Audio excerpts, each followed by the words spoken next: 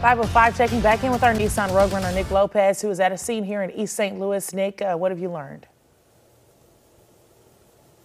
Yeah, uh, we had, uh, had, heard calls of a possible shooting here in uh, at the uh, on the 2400 block of Mississippi Avenue in Sauget at the BP gas station here on the corner of Mississippi and Monsanto. When I got here, I saw uh, police here putting up tape, uh, crime scene tape, and they kind of taped off everything around these pumps and multiple vehicles in this area of the gas station. And the scene ex extends quite a ways from there's a garbage can here I'm kind of showing at the foot of the garbage can.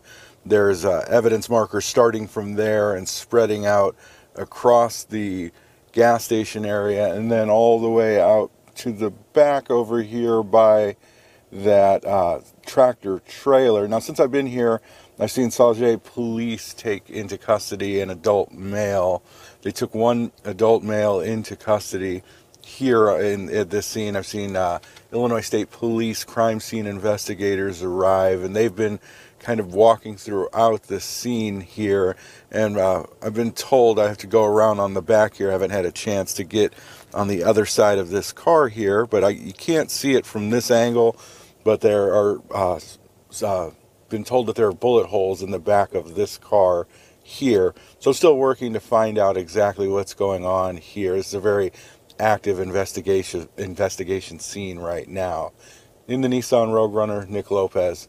Back to you in the studio.